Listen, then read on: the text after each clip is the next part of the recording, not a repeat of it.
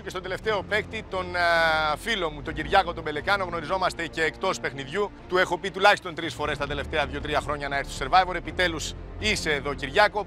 Πρέπει να σου πω, κάθισες και στο τέλος, ότι το γεγονός ότι γνωριζόμαστε εκτός παιχνιδιού για σένα το κάνει πολύ πολύ πιο δύσκολο, αφού έχω πολύ ψηλές προσδοκίες. Το κάνει πιο δύσκολο γιατί πρέπει να αποδείξω σε όλους ότι αξίζω που είμαι εδώ. Και αυτό πρόκειται να κάνω γιατί εντάξει, εκπροσωπώ μια ολόκλη, ένα ολόκληρο νησί. Ακριβώς εκεί ήθελα να καταλήξω. Εσύ είσαι ο ένας Κύπριος παίκτης. Ουσιαστικά εκπροσωπεί όχι ένα νησί, εκπροσωπείς μία χώρα και μάλιστα στο ένα survivor που είναι ανάμεσα στην Ελλάδα και την Τουρκία. Όποιος Κύπριος και να ήταν θα πάλευε. Κύπριος Κύπρια ήταν στη θέση μου.